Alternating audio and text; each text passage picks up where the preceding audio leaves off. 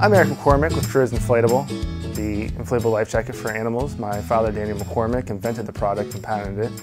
And I'm a mechanical engineer, taking over the company from my father, and I've got some great ideas to make the product even better. Well, the Critters Inflatable Life Jacket is an automatic inflatable life vest for your dog that automatically inflates when it gets submerged into the water, making it both more comfortable out of the water and safer in the water than a foam life jacket. When your animal is wearing a Critters Inflatable Life Jacket, out of the water they're going to feel the same as they are in a harness. It's going to be very comfortable for them. They're going to be able to walk around, lay on the ground, do whatever they need to do. When in the water, they're going to feel a lot safer. They're not going to have to struggle to stay afloat. They're not going to be splashing as much. They can just relax or play or do whatever they want without struggling. The idea came from my father, who was working for the U.S. Coast Guard and was working with manufacturers that were making inflatable life jackets for people. And he thought, well, why don't they also make these for animals? So he went to his workshop and started designing one for dogs and cats. This is a first generation large Critters Inflatable life jacket. It has a handle with reflective tape and industrial strength D-ring.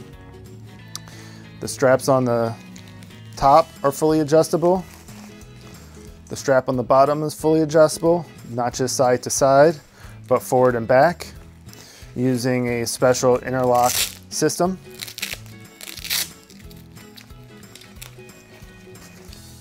It also has straps that allow to keep any loose straps from occurring. Everything stays nice and tight on the system. You don't have any loose straps. Under the neck, the strap here allows for the inflation to stay close to the body but keep any pressure off the neck. There is a collar on the front that allows even the wiggliest of cats to stay in the life jacket. On one side we have the automatic inflation system.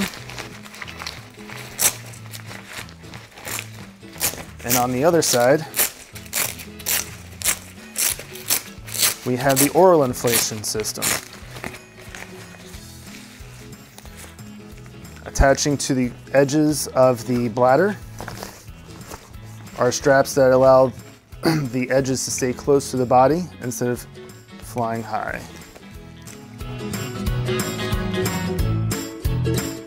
A foam life jacket when out of the water is very bulky and reduces the range of motion and also unnecessarily keeps the dog hotter than it needs to be, especially on a hot summer day.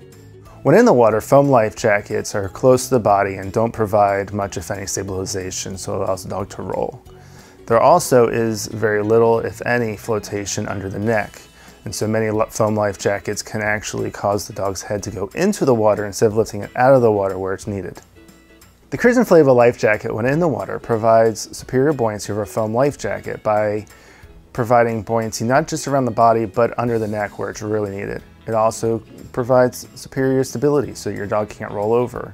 Between the stability and the buoyancy, it makes it so that your animal doesn't have to work when they're in the water. If they're tired, they can just relax and float. First generation Critters Inflatable Life Jacket, large on, we got sugar here.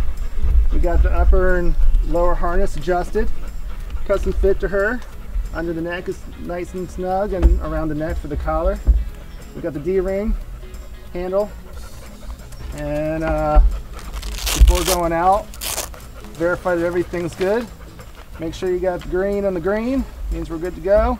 And also verify your CO2 cartridge. And make sure there's no puncture hole in there.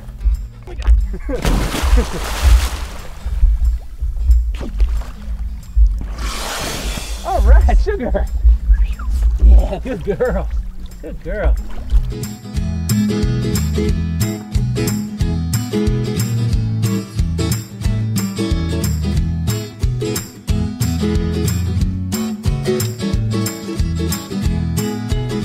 She's a happy girl. And then you deflate using the oral inflation tube.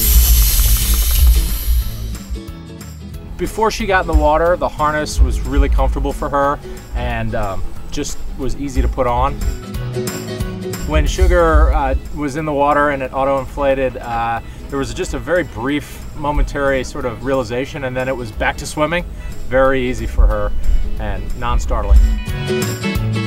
Pretty intuitive. Uh, the device just uh, with the red and the green, uh, very visual, and, and I thought nice, easy user experience.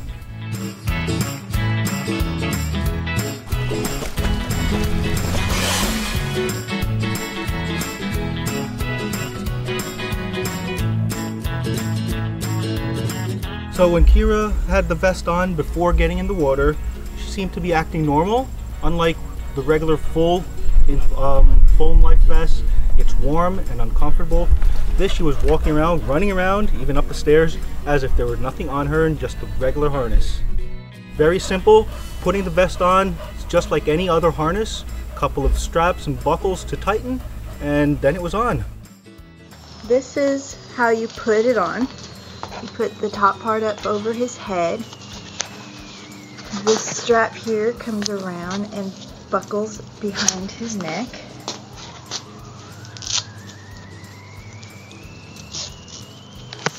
And then if you've ever used a backpack on your dog, there's two straps that go under his belly.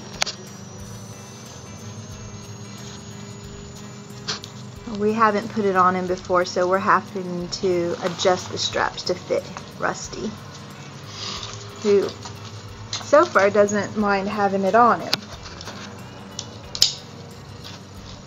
I like the fact that it's not covering his complete body so that he can breathe and it's not going to be as hot on him when he's not in the water.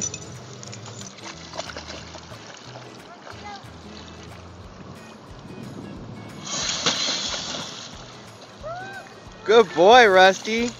Good boy.